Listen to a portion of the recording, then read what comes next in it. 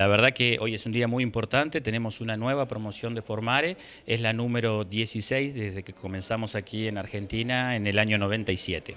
Bueno, hoy con un padrino muy especial, con una visita también muy importante. Sí, sí, la verdad que es un honor para nosotros contar con la presencia del ministro de Industria, el licenciado Jorge Lawson, que en esta oportunidad va a oficiar como padrino del grupo que se formó durante el año 2012. ¿Cuántos chicos egresan hoy?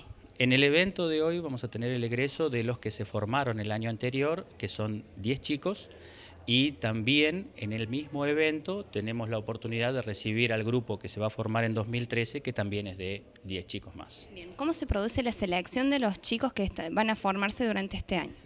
Bueno, durante el final de cada año nosotros abrimos las inscripciones en distintos lugares de eh, Jesús María, Colonia Carolla, Sinzacate, toda la región. Eh, abrimos las inscripciones para que los interesados puedan acercar su inquietud de hacer parte del programa.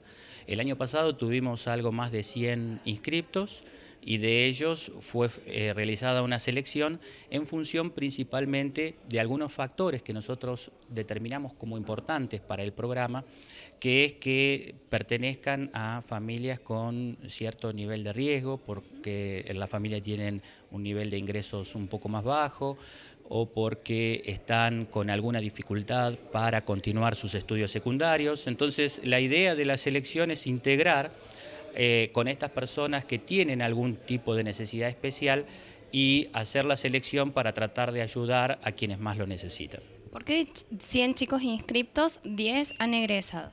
No, porque en realidad la inscripción es, de 100, pero nosotros seleccionamos de ese grupo los 10 que nos van a acompañar durante el año. En el año 2012 tuvimos 10 eh, chicos que se formaron durante el año y esos son los que van a, a egresar. ¿Cómo ve el nivel de los chicos?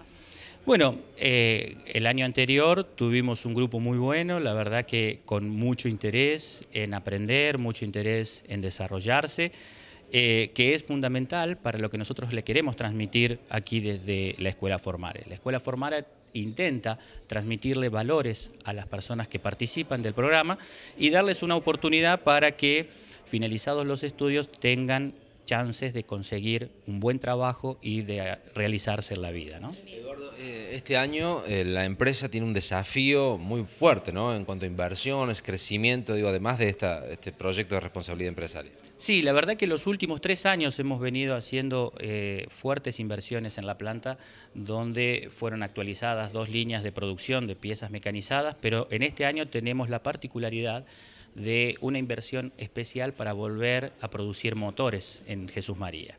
Estamos en este momento trabajando, eh, obteniendo las autorizaciones para importar la línea de producción y nuestra expectativa es obtenerla pronto para iniciar la producción aquí a mediados de año.